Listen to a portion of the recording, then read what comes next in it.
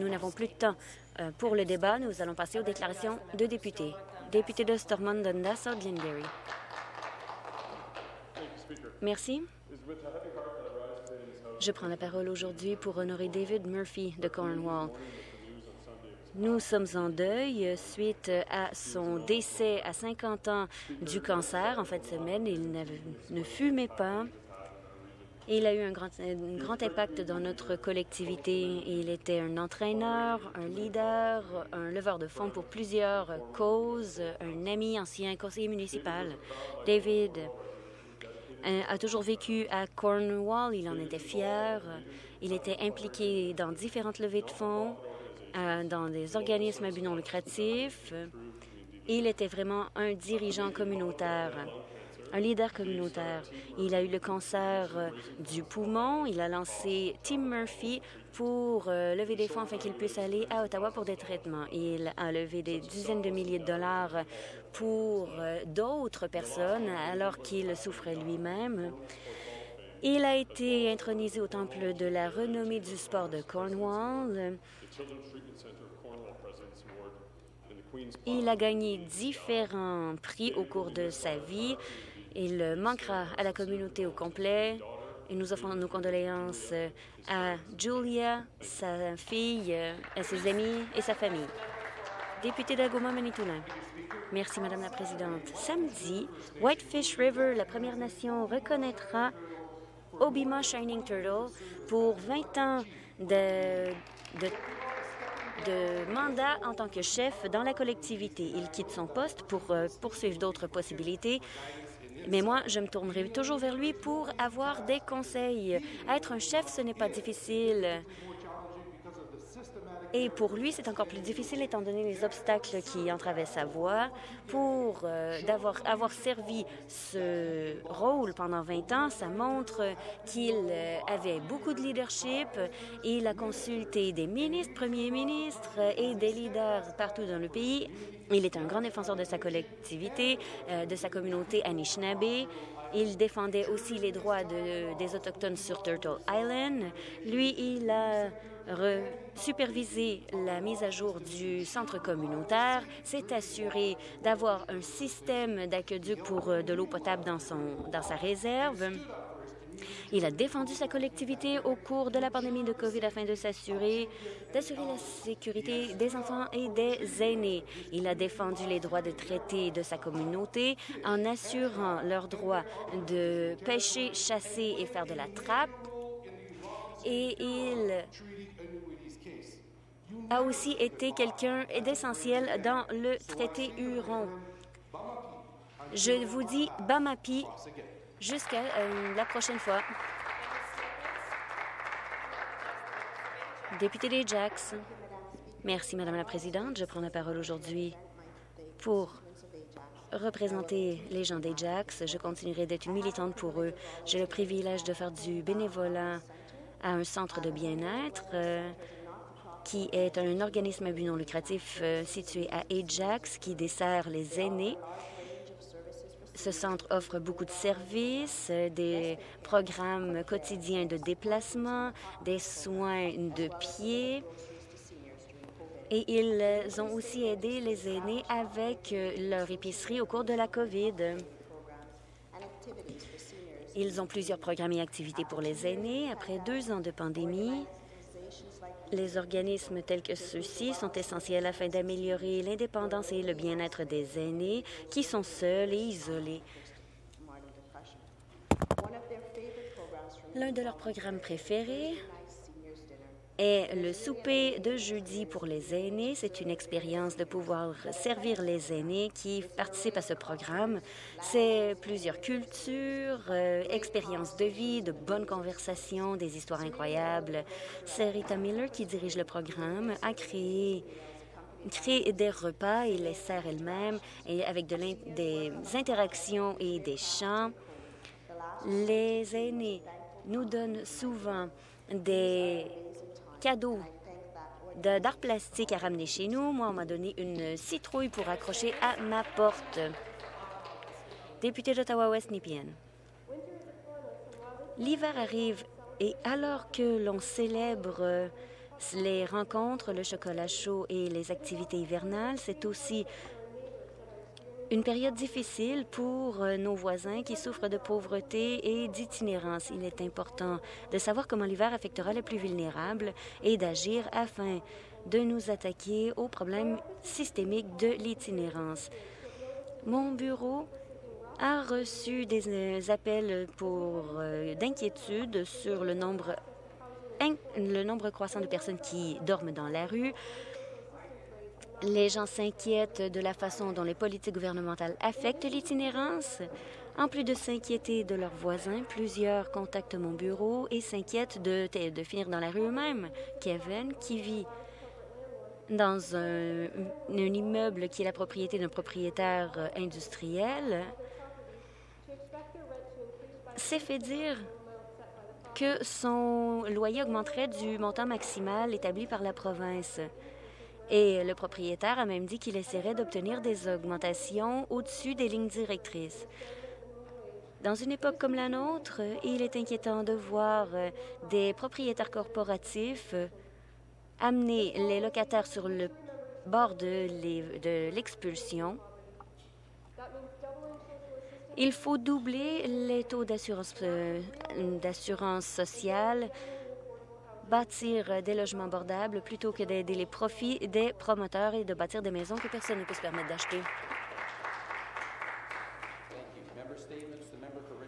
Député de Richmond Hill, déclaration de député. Merci, Monsieur le Président. Le 19 août 1942, il y avait neuf jeunes de Richmond Hill qui sont arrivés à Dieppe, France, sur la, euh, sur la plage bleue. Huit ne sont jamais revenus. C'était le plus grand jour de perte pour Richmond Hill. Ces héros qui ont sacrifié leur vie en échange pour notre démocratie sont George Charles Adam, Thomas Miller Armstrong, John Family, Joseph Elwood, Ernest Albert Goat, Charles Hills, Roy Alexander Roca, Russell Thomas Rice. Sergeant Williamson John Adam, qui était aussi impliqué dans ce débarquement, a été capturé et a passé le reste de la guerre en tant que prisonnier. Toutefois, lorsqu'il est revenu au Canada, il a continué à servir auprès de la police régionale de York, Monsieur le Président. Nous devons nous souvenir et respecter ces personnes, non seulement au jour du souvenir, mais à chaque jour. Il faut aussi se souvenir des membres de la famille qui ont sacrifié beaucoup avec eux. Merci, Monsieur le Président.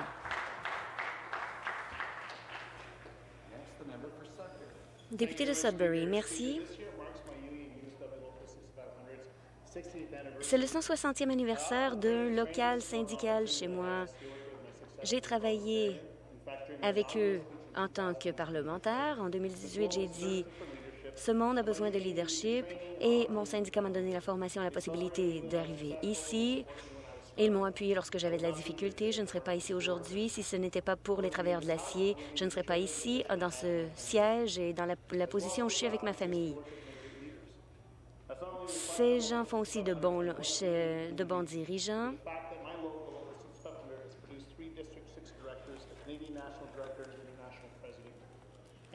Nous avons euh, ce syndicat a produit plusieurs personnes qui ont occupé des rôles de leadership. Nous, ils aident à lever des fonds pour des œuvres caritatives. En raison de ce local, 66 500 nous avons des, enquêtes sur la sécurité qui sont faites. On négocie des contrats justes et on gère des arbitrages. La liste continue, euh, que ce soit des, fêtes de Noël pour les enfants, aider les gens qui sont expulsés de leur logement pendant les 60 dernières années. Ce local a été un exemple du fait que l'union fait la force.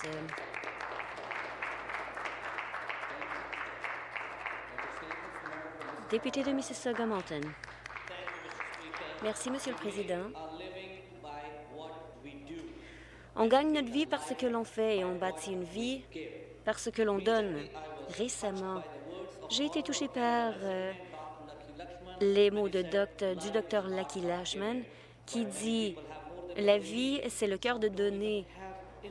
Certains en ont trop, certains n'ont même pas assez. Je suis toujours inspirée des organismes et programmes qui ont foi en les dons de soi. À Peel, 30% des enfants vont l'estomac vide à l'école lorsque les écoles ont fermé en raison de la COVID. Ces jeunes n'ont pu avoir de déjeuner. Ma femme a organisé un programme de déjeuner et a servi des milliers de repas nutritifs. Elle a travaillé avec l'aide de plusieurs bénévoles à chaque vendredi. J'ai vu le cœur de donner, qui était l'ingrédient le principal pour qu'une communauté soit une meilleure, un meilleur endroit où vivre pour tous. Je demande à tous les Canadiens et en tant qu'émigrants de Première Nation, tout particulièrement auprès des néo-canadiens qui sont, euh, qui ont donné tellement. Donnez euh, le respect, l'amour et vos ressources. Ensemble, participons dans l'art de donner. Député de Kingston et les îles.